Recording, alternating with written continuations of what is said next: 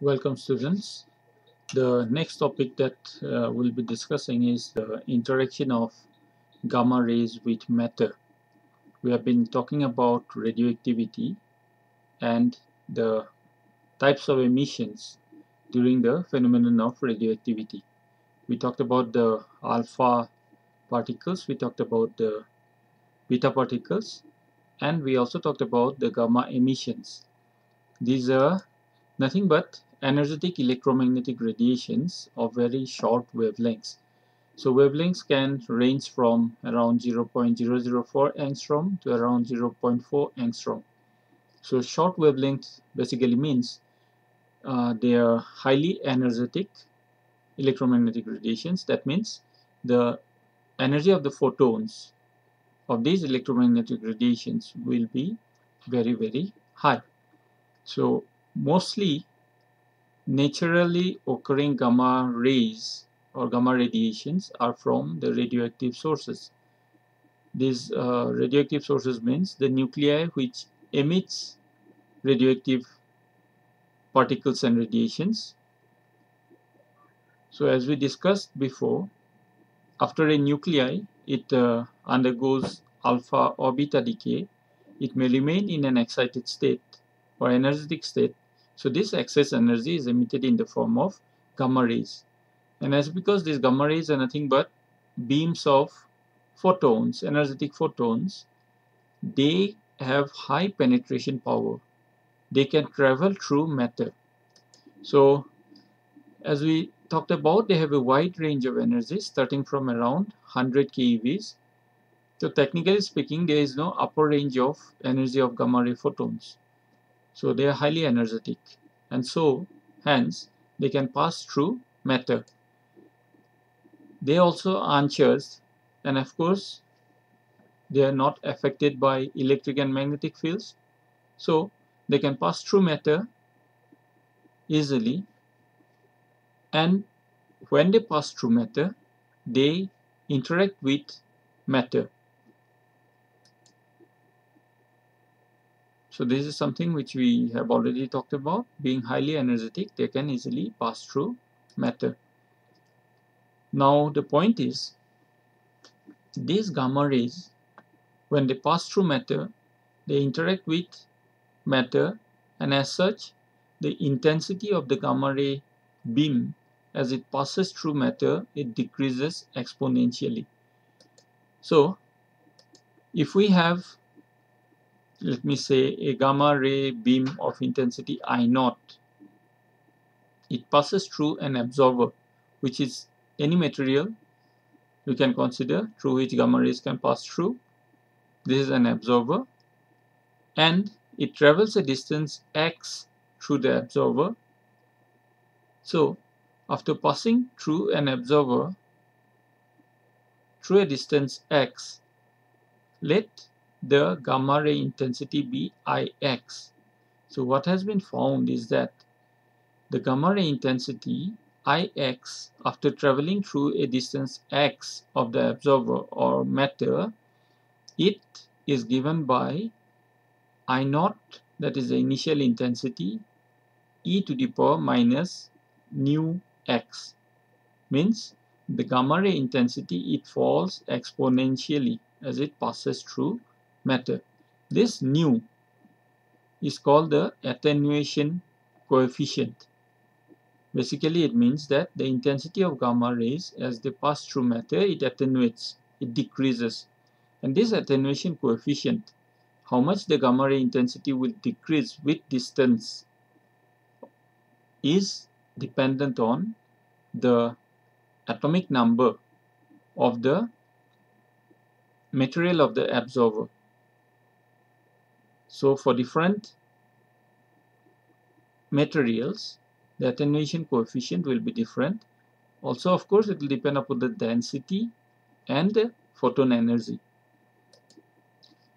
So, the attenuation of gamma ray intensity as they pass through matter is due to different processes that occur due to the interaction of gamma ray photons with matter. So intensity decreases or it reduces means something happens when the gamma rays they pass through matter. So this something that we are talking about are nothing but different processes which occurs due to the interaction of the gamma ray photons with matter. So what are these processes? So basically there are three main processes that occur at different energy ranges of the gamma photons.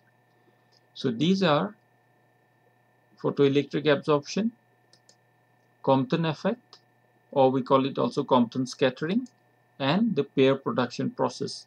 So these are three processes or phenomenon that occurs when gamma rays they pass through matter. So which of these three processes will occur? It depends upon the energy of the gamma ray photons. So at very low energies, it is the photoelectric effect that occurs. At intermediate energies, Compton scattering takes place and at higher energies, pair production process takes place. And what if there is no exact demarcation as such which process will occur. It will depend upon the material also. It depends upon the atomic number Z means the atomic number of the material through which the gamma rays are passing through. It depends upon the atomic number as I said and also the energy of the gamma ray photon. So as you can see the atomic number increases photoelectric effect can occur till higher energies of the gamma rays so as i said there is no exact demarcation but roughly you can say that at lower energetic gamma ray photons maximum probability is of photoelectric effect taking place or photoelectric absorption why we are saying absorption because the gamma rays are absorbed and hence the intensity reduces intermediate energy scales is the Compton scattering and for high energies it is the pair production process. So let's look into these three processes or the phenomenons one by one. Photoelectric absorption, what it is. So this is a phenomenon which occurs for low energy gamma photons. Means the energy of the gamma photons for photoelectric effect to occur should be of the order of magnitude as the energy binding the atomic electrons to the nucleus. So basically what it means if I have an electron here, the electron is bound to the nucleus if the gamma ray photon has an energy comparable to this energy with which the electron is bound to the nucleus then the probability of photoelectric effect is more or the uh, photoelectric effect takes place. So in this phenomenon, what happens is a gamma ray photon is incident on the electron. It transfers its energy to the electron. Some part of the energy of the gamma ray photon goes to breaking the bond with the atomic nucleus. The rest of the energy is transferred to the electron and it takes away the uh, energy remaining energy as kinetic energy. So the electron goes away as a free electron with a certain amount of kinetic energy. So in the process the gamma ray photon it ceases to exist. So this is a phenomenon which is known as photoelectric effect or in this process the gamma ray photon is absorbed so we call it photoelectric absorption in terms of the gamma ray absorption. So when gamma rays pass through matter, therefore, initially let me say 10 gamma photons are incident. So suppose 2 gamma photons are absorbed through photoelectric absorption. So the remaining number of gamma photons is 8. Hence, the intensity of the beam as they pass through matter, it reduces.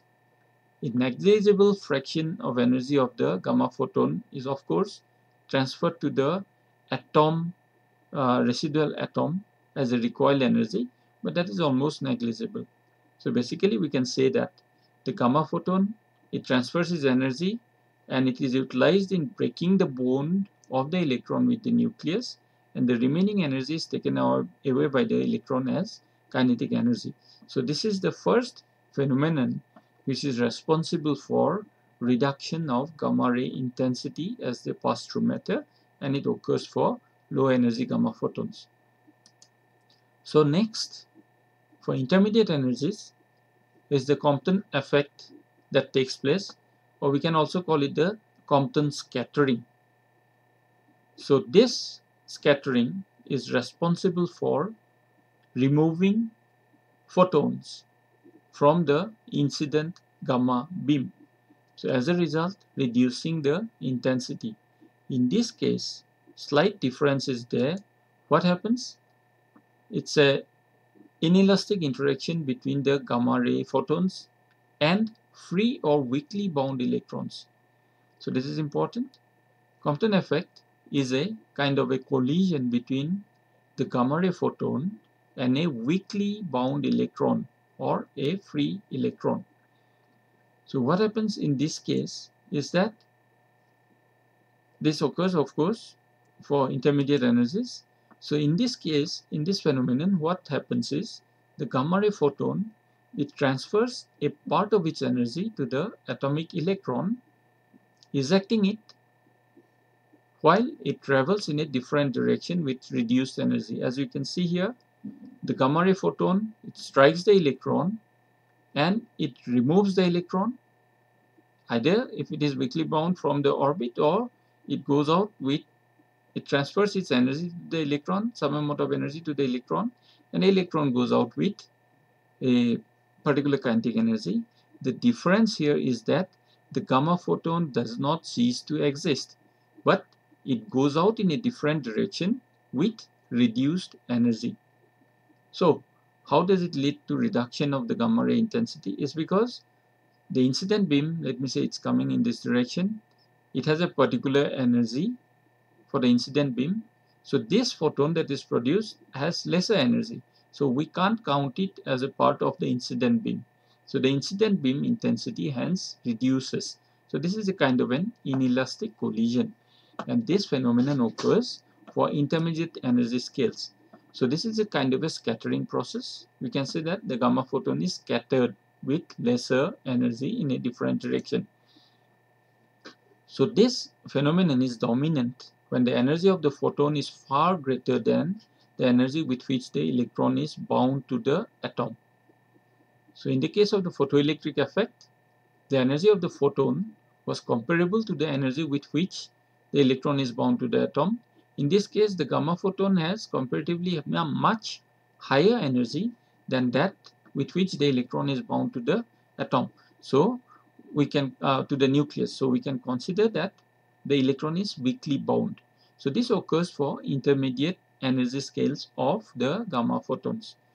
The third effect that we'll talk about, which leads to the reduction of gamma ray intensity, is the pair production process. So what is this? This is a process in which highly energetic gamma photons having energies at least equal to 1.022 MeV, it breaks up into an electron and a positron when it passes near an atomic nucleus. You can see here the atomic nucleus is there, the gamma ray photon it comes, it breaks up into a positron and an electron. So here the threshold energy we are talking about is 1.022 MeV. There is a meaning to that.